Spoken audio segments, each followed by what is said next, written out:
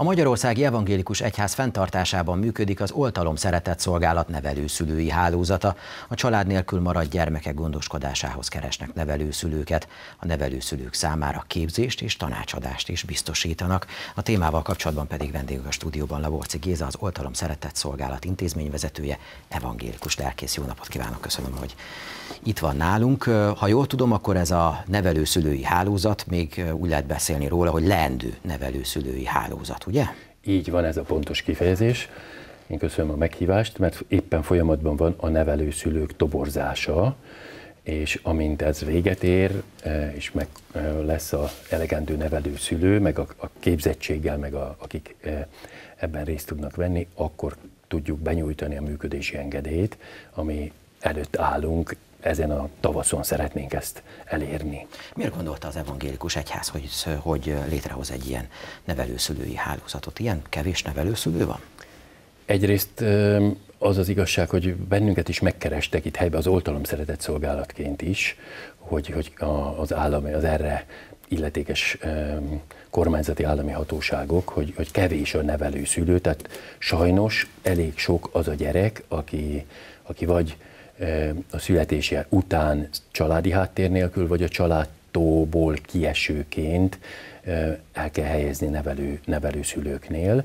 Ez az egyik része nyilvánvalóan, a másik része az, ami, az ahogy mi a különlegesen nehéz élethelyzetben lévő embertársainkkal az oltalom szeretett szolgálatnál folyamatosan találkozunk családok átmeneti otthonában ezzel a problémával, és ettől függetlenül is azt gondoltuk, hogy nekünk ezen a területen feladatunk, küldetésünk van, egy kicsit preventív jelleggel is, hogy minél kevesebb sérült ember legyen ebben az országban és ebben, ebben a városban, meg ebben a régióban. Tehát akkor azt mondhatjuk, hogy önök gyakorlatilag az állami feladatokat egészítik ki, erősítik. Így van, ugyanúgy, mint ahogy a hajléktalan ellátásban állami feladatot vállalunk át, egy nevelő-szülői hálózat is átvállal egy állami feladatot, hogy azok a gyerekek, akik a család közössége nélkül élnek, kénytelenek élni egy ők, ők ebből a szempontból nagyon óvatosan mondom idézőjelbe, hogy félreértés ne kvázi áldozatok valamilyen formában, egy helyzetnek a fogjai, ők minél kisebb sérüléssel vészeljék át ezt a helyzetet, mert ugye a nevelőszülőségnek a fontos feladata az az, hogy erre az átmeneti időre eh, biztosítsa a gyermek számára a családszerű eh, közeget, szerető közeget, szerető közeget, hogy vagy vissza tud menni a vérszerinti családjába, vagy örökbefogadó családhoz megy, és a saját életkorának, a képességeinek megfelelő szinten tudjon maradni. Tehát egy nevelő szülőnek ez egy nagyon-nagyon fontos küldetése, feladata, hogy ebbe a helyzetbe, amiben egy gyerek belekerült, ebbe, ebbe ne rokkanjon bele és ne sérüljön. Tehát az ő feladata, a nevelőszülő feladata egy átmeneti feladat, mondhatjuk, Igen. ami hát ebből a szempontból pedig különösképpen erős, meg különösképpen meg nehéz feladat, hiszen ha mondjuk megvan a kötődés a gyerek iránt, akkor utána pedig el kell engednie Pontosan, tehát erről azok, akik ebben benne vannak, mondják is, hogy ez egy nagyon nehéz dolog, hogy egyszerre biztosítani a, ezt a légkört, és ugyanakkor mégis mindenkiben tudatosítani, hogy ez, ez egy átmeneti dolog, de ahol ezt jól csinálják, és ahol ezt e, világos paraméterek mentén viszik, ott, ott azért nagyon sokat tudnak a gyerekeknek segíteni. Ezért is van kevés nevelőszülő, vagy teljesen más az oka annak, hogy kevesen vannak? Hát az egész pontos okokat én nem tudom ö, megmondani, hogy a rendszer nyilván a tegyesz erre valószínűleg jobb választ tudna adni, mint én, nekem tippen van. Az micsoda? Bocsánat. A területileg illetékes gyermekjóléti szolgálat. Ők, akikhez tartozunk hatósági szempontból is, ők, ők ővelük együtt működve végezzük az előkészítést, meg a, a kihelyezést is ők, ők intézik, tehát ebben ők abszolút partnereink, és tényleg nagyon jó az együttműködés velük ők meg tudnák mondani, hogy ennek mi az oka. Egyrészt eh, Nyíregyházán, illetve a megyénkben ugye eh, sok gyermek is születik, és a családoknak a fölbomlásával is elég sok az a gyerek, növekszik azoknak a gyerekeknek a száma, akik kihelyezést igényelnek. Volt korábban egy időszak, amikor, amikor sok nevelőszülő volt, és ezek most már kiöregettek, és egy újabb hullám nem indult el. Az állam egyébként éppen ezért elindított egy ilyen kampányt, és pénzt is tett erre félre, hogy a nevelő szülői hálózatok kiépítését erősítse, és én azt gondolom, hogy ez egy komoly társadalmi feladat és szerepvállalás. Tehát kellene akkor egy újabb generáció. És, és hogy, hogyha jól tudom, ebben segít például az is, hogy hamarosan jár a gyed a nevelőszülőknek. Tehát itt azért anyagiakról is szó van. Hát hogy így, lenne szó Így van. Tehát a nevelőszülői díjazás az azt jelenti, hogy ez, ez akár egy egyedi esetben is lehet, tehát hogy foglalkoztatási jogviszonynak megfelelő foglalkoztatást jelent.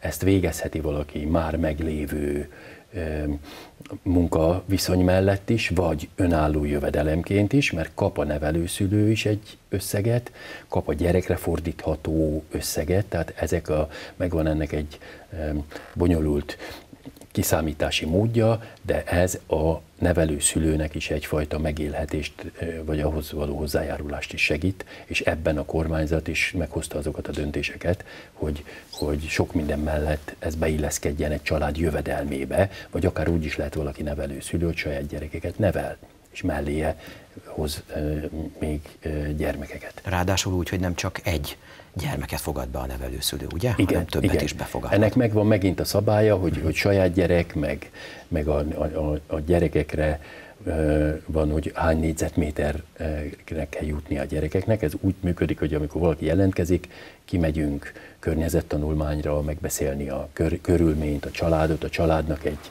házi orvosi igazolást kell hozni, majd egy pszichológiai vizsgálaton kell átesni, majd el kell végezni egy nevelőszülői tanfolyamot, és akkor mondja ki a hatóság, hogy ő alkalmas arra, hogy nevelőszülő legyen, és akkor születik meg a jogviszony köztünk, meg a család között. Tehát ez egy hosszú, eh, aprólékos munka, elsősorban eh, a, a, arról, hogy akik oda jönnek, azok jól fölkészült emberek legyenek, illetve amit mi még gondolunk, hogy aki ezt végzi, az ne, ne ilyen kvázi partizánként érezze, hogy ő egy, egy elszigetelten végez egy ilyen munkát, hanem azért akarjuk hálózatba hozni őket, hogy azok, akik ezt végzik, azok egymásról tudva tudják egymást is erősíteni ebben a... Tehát egy támogatói hálózat. Egy így támogatói van. hálózat.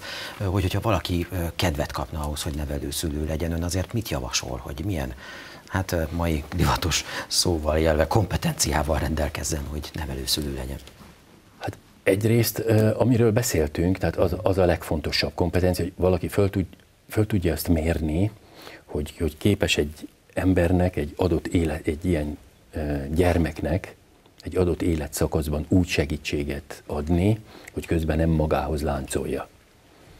Tehát ez egy, ez egy nagyon fontos és én szerintem ilyennek vannak, mert ahogy hogy az én munkatársaim járták a, a jelentkezőket, elég sok emberrel találkoztak, akik, akik ezt, ezt képesek úgy tűnik megcsinálni, tehát ez egy nagyon fontos dolog. Nyilván kell a gyerekeknek a befogadása, a, a, a, a való hajlam, vagy nagyon egyszerűsítve azt kell, hogy mondjam, hogy, hogy úgy szeresse azt a gyereket, hogy nem magához láncolja, hanem kvázi egy ilyen, hogy is mondjam, felszállópályát épít a gyereknek, hogy ő az önálló életre alkalmas legyen. Tehát kell azért, hogy itt legyen egy küldetéstudat. Igen, igen. Nyilván a pszichológiai vizsgálata az alkalmasságot vizsgálja, mi megpróbáljuk azt, hogy, hogy ebben, ebben ez, ez legyen, és azért, akik jelentkeztek hozzánk, azt tapasztaltuk, hogy, hogy nagyon jó, kis, nagyon jó kis csapat lesz ez. Na hát jelentkeztek, igen, meg mondta, hogy zajlik a toborzás. Így van. Gondolom még azért nyitott. Ugye? Nyitott természetesen, hogyha valaki szívesen jelentkezne, akkor ha keresi az oltalom szeretett szolgálatot, nálunk lehet, lehet erre a jelentkezni, vagy a területileg illetékes gyermekjóléti szolgálatnál is lehet nyilván jelentkezni, akik, akik kiközvetítik, ha, ha olyan a, a helyzet, tehát ez, ez minden további nélkül működik ebben a formában. Köszönjük szépen, hogy itt volt nálunk. Én köszönöm a lehetőséget.